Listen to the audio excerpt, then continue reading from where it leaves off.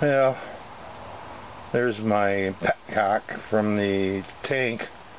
Um, I couldn't find a replacement for today. These threads are threads are really fine threads. I I looked at Ace Hardware, went all over, went, even went to uh, uh, the, the Honda dealer, and he said that tank came off some 70, 84 or 70 something um, trail bike on the, on the bike or something, an old an old uh, dirt bike. Um, so he did match the tank up, but he didn't. He said that that petcock was $79 if you had to order it. I'm like, wow, $79. So I'm like, okay. So I said, well, I looked around see if I could find something to thread into the bottom there, and I couldn't find anything because I don't want to ruin the threads on it, make it even leak out of this part, because it's not leaking out of here, it was leaking out of the valve body here so I put JB Weld all in the in the grooves here. It's still kind of tacky. So I'm going to have to let it sit up overnight before I try it, put gas in it, uh, let let it sit for a while, um, let it get nice and hard. So I'll put it back on and I'll test it, see if it, I don't think it's going to leak. I mean, it was just, it was leaking enough to to make a mess on, on the floor. But I, I did manage to get the, uh, so I've been kind of draining it. It was so dripping, so I had some gas in there. So, but I got the header all done. Got this all welded up. I I actually managed to. It came around like here so it clears the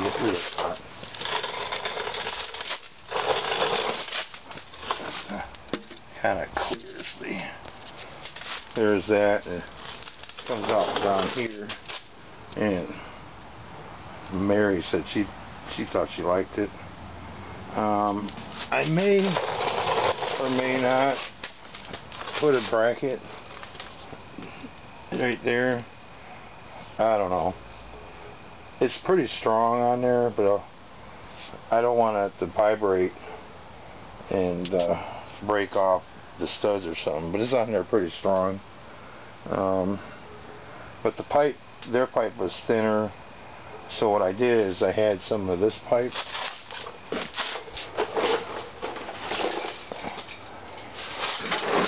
Let's see if I can find it.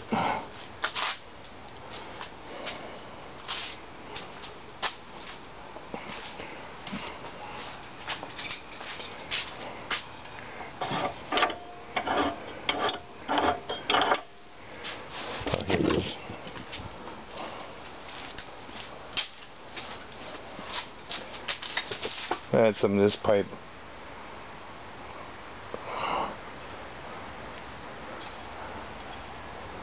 It's it's conduit pipe. Silver slick. Well, anyways, the header that they sent me, Go Power sent me, fit right inside there, nice and snug. So I welded it up and did a couple did some bends on it over here.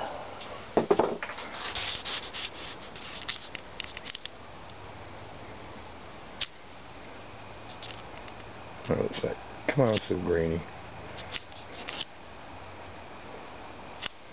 But I did a, a bend and got it set on there. So that's where it was. I'd like to find some like chrome colored maybe get some chrome colored paint on here and put on here and paint the paint the pipe chrome you know so but it turned alright it's got plenty of clearance for the uh, for the shocks. And it's kind of away from everything. And she thought it looked pretty cool. Thought, yeah. I thought it looked pretty cool too. So all I gotta do is put them uh, side plates on, and uh, still kind of kind of drip in here. So I'm just gonna let it let it drip in there.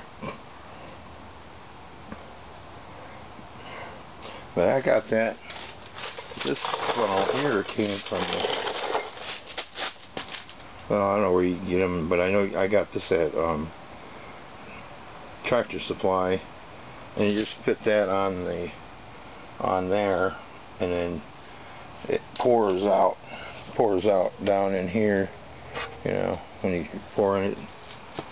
So hopefully, and I tried spilled some gas on my paint job, and I might have to re took out the, some of the took out some of the uh, clear coat on it and I should have let the clear coat completely harden and I didn't bad me bad.